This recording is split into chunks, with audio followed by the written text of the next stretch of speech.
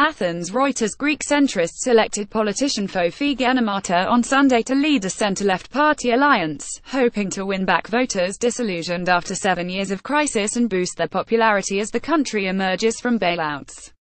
Past attempts by centrists to form parties and alliances have not fared well and the latest bid is seen as a last-ditch effort to restore unity and attract voters, many of whom defected to the ruling leftist Syriza party over the years of painful bailout reforms.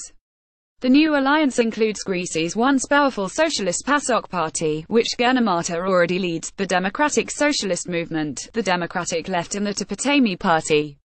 Gennimata won about 58% of the vote. PASOK ruled Greece for decades but has seen its popularity sliding to single-digit figures since 2010, when it signed up to Greece's first bailout from the EU and the International Monetary Fund in return for draconian austerity. It has 19 seats in the 300-member parliament. The centre-left Potami, which was founded in 2014 and first entered parliament with 6.1% in a 2015 national election now ranks 8th in opinion polls with 1.5%. It has six MPs. Greece's leftist Syriza government was catapulted to power in January the 2015 promising to end austerity.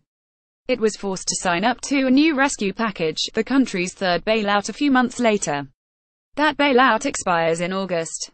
Prime Minister Alexis Tsipras' term ends in 2019 and he says he will seek a new four-year mandate then. But his ratings have been sagging in opinion polls behind the main opposition, the conservative New Democracy Party. Reporting by Renee Maltezou and Michele Kambas, editing by David Evans or Standards to Thomson Reuters Trust Principles